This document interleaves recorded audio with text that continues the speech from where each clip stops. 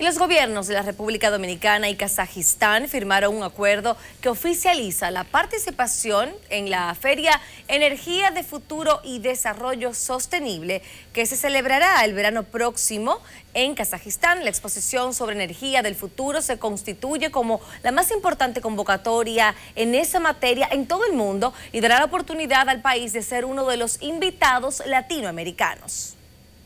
Porque se trata de una actividad de mucha jerarquía debido a que los países participantes procuran establecer conexiones entre inversionistas para anular no solo vínculos políticos y diplomáticos, sino también de negocios, cooperación, intercambios en el sector político, en la actividad aeroportuaria, en la exploración energética y en nuestras potencialidades para la. Con esta colaboración se procura fortalecer las políticas exteriores con los países asiáticos.